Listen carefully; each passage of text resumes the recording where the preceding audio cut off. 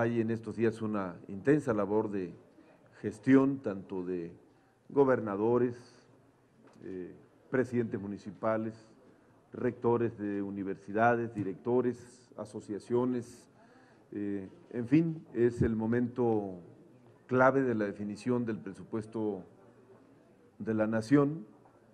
Como van las cosas, seguramente hoy eh, estaremos iniciando la discusión más tarde del, del presupuesto de egresos.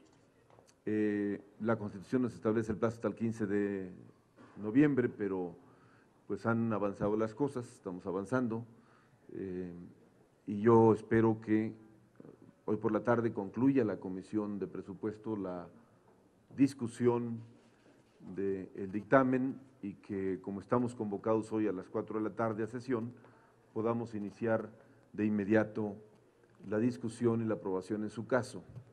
Eh, son muchos eh, asuntos los que incluye esta esta definición, eh, pero creo que ha habido apertura de, los, de las partes para que avance la, la negociación de este importante tema.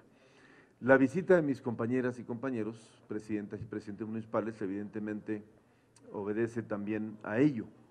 Están buscando cómo eh, buscar recursos, cómo gestionar más recursos para sus municipios, no es nueva esta información de que los municipios son el eslabón de los eh, ámbitos de gobierno, pues que más carencias tienen, más presiones.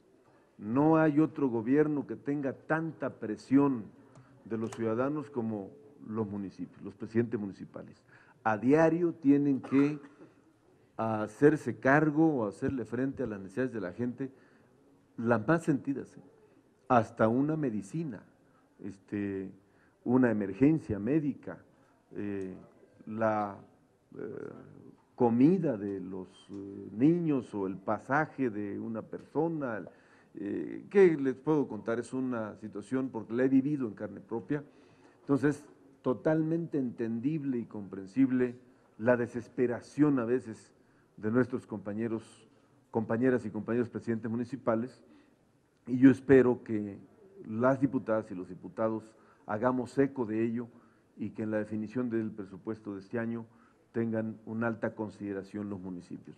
No estamos bien en el equilibrio en la asignación de los recursos. Está invertida la pirámide.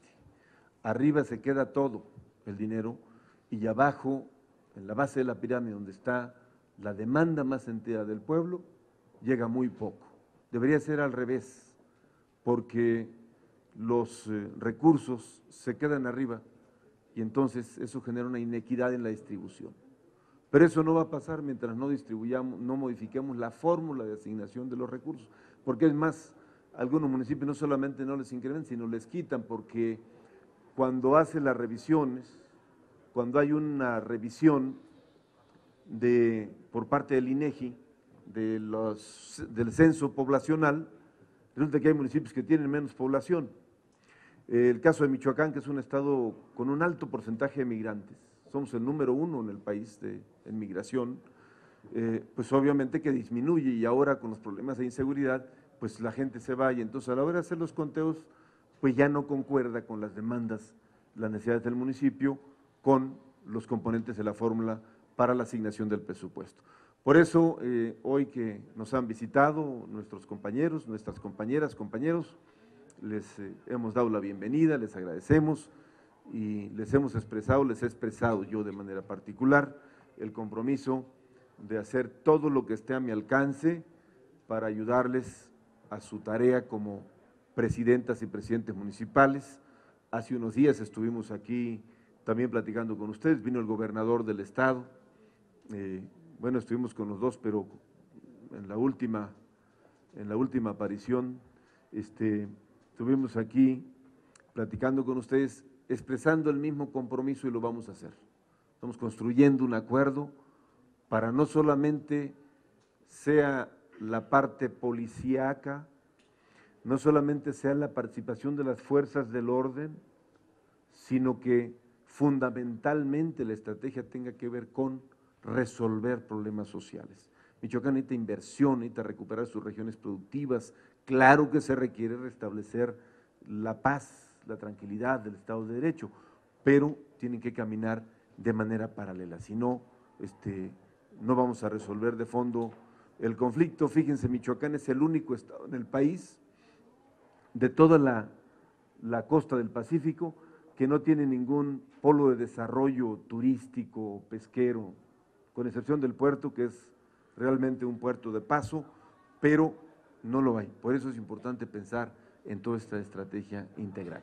No abundo más, solamente querían los presidentes este, pues, saludarlos, saludarles y, yo este, expresar públicamente que las diputadas, los diputados del PRD y particularmente los michoacanos, pues vamos a hacer lo que nos toque para ayudar a nuestros compañeros presidentes municipales.